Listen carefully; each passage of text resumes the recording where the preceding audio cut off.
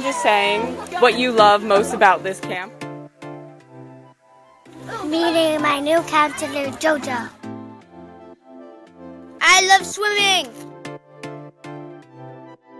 I like the lake too because um we can go into the water and swim. I love meeting new people and meeting new friends.